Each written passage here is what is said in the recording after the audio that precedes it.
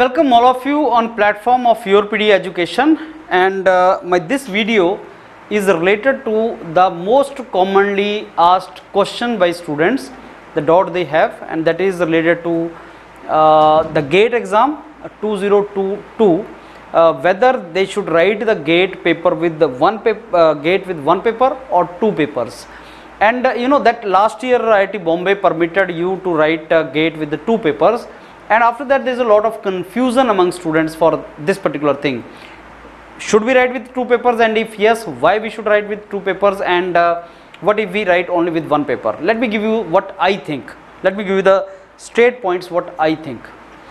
You know uh, if you are targeting uh, some public sectors if you are targeting public sectors then one of the papers you have to write is your core paper. Obviously like civil engineering mechanical engineering electrical engineering you have to write one of the core paper. You are going to write the paper with that core. And second paper you write because you know gate is 3 hours a show. Sometimes what happens is like that day is not your day. You miss by certain number you know. Uh, maybe that day you do not hit. The paper comes in such a way that you spoiled the paper in the examination hall. Preparation was good but because of that day incidents आपका paper अच्छा नहीं हुआ। बाकी paper की तैयारी अच्छी थी paper अच्छा नहीं हुआ। ये बहुत कॉमन ट्रबल है। तैयारी बहुत अच्छी है सर टेस्ट सीरीज़ में मार्क्स बहुत अच्छा आ रहा है, लेकिन मेरा पेपर अच्छा नहीं हुआ। टू वार्ड ऑफ़ उस इफ़ेक्ट को खत्म करने के लिए you have another chance one more option and you can write with second paper and second paper when you write then you write it with light mind actually normally तुम बहुत pressure में नहीं लिखते हो उसको। तुम प्रेशर में उस पेपर को लिखते हो जिसकी बहुत अच्छी तैयारी कर रहे हो। तो सेकंड पेपर में तुम तैयारी तो तुम्हारा है ही you are preparing entire subjects तो वो uh, तुम्हारा छोटा पेपर भी निकल जाएगा like environment science of civil engineering and XE for mechanical और समथिंग सो तुम्हारा वो छोटा पेपर भी निकल जाएगा preparation will be more less on the similar line not same but on similar line तो वहाँ पे अगर तुम्हारा मेन कोर पेपर में कुछ गड़बड़ हो गई तो उसके इफ़ेक्ट को ख़त्म करने के लिए you will write second paper and sometime what is happening students tell that sir हमारा मेन पेपर गड़बड़ हो गया, लेकिन इस पेपर में हमारा स्कोर अच्छा आ गया. अब I want to get into P S U but I could not get score sufficient for P S U and second paper में हमारा अच्छा हिट हो गया। So what happens is when we compare then there are certain departments in I I Ts and all in which with high score in those papers, like ES and XC you can get admission, actually. If your score is high in those papers, you can get admission. तो दूसरा paper इसलिए तुम्हें लिख लेना चाहिए कि, sir if my preparation is very good should I write second paper there is no harm in filling the form अभी आप फॉर्म भरो. That is I strongly advise कि आपको फॉर्म भरना चाहिए. Because two months before if you decide नहीं, मेरे को सेकंड पेपर भी लिखना है तो फॉर्म अगर नहीं भरा होगा तो ट्रबल हो जाएगा. तो भरो उसको. मंथ बिफोर यू डिसाइडेड और one week before you decided I am going to write the second paper also because तैयारी तो है ही तो let's go for this maximize my probabilities and options. To maximize my options, i should write that paper also. So this is one thing. The second thing is दो students जिन्होंने तैयारी तो अच्छा स्टार्ट किया, लेकिन just two three months before they decided कि सारा syllabus control में नहीं आ रहा। I am not in position to revise everything now and I think that मेरे से नहीं बन पाएगा। Which is very very common and in fact sixty percent of the students who are preparing उनके साथ एक कॉमन प्रॉब्लम है। They go for the test series और उनका तैयारी, उनको लगता है कि अच्छा नहीं है और गड़बड़ होना स्टार्ट हो जाता है।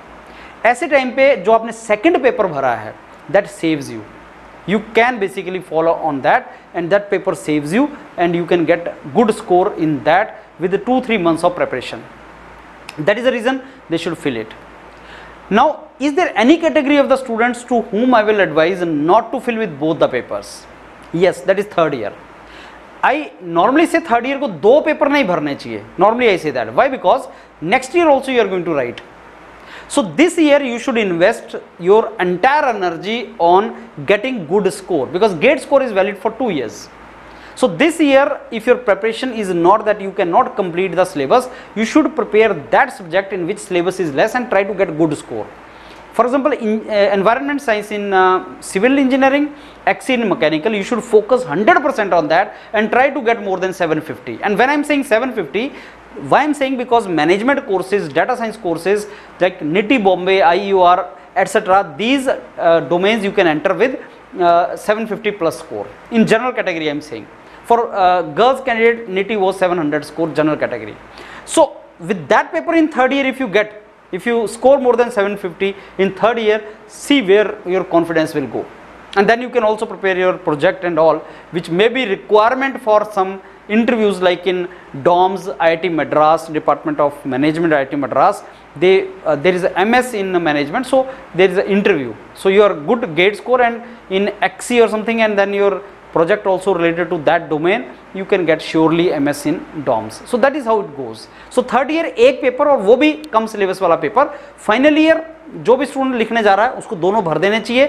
बाद में when you are to take a call that time you can take call so let me summarise should be write with both papers as of now you should fill both the papers form you should fill and then whether I to writing with both और एक छोड़ देना है, ये आपको एक month पहले decide करना चाहिए। एक मंथ पहले कॉल लेनी चाहिए not now one month before you should take a call should I write with M E and mechanical engineering XE both और only with XE because if I am to write only with XC I will not prepare other topic I will prepare only XC topic and दो month पहले two months before you should take this call and you should not keep on preparing all the topics if your preparation is not good I will give you that strategy as of now the strategy is if you are in final year if you are pass out fill the form with both the papers if you are in third year fill the form only with one paper need not to worry. Write only with one paper that too less syllabus paper. Hope i made my point clear. This is efficacious thing. Just follow it. Thank you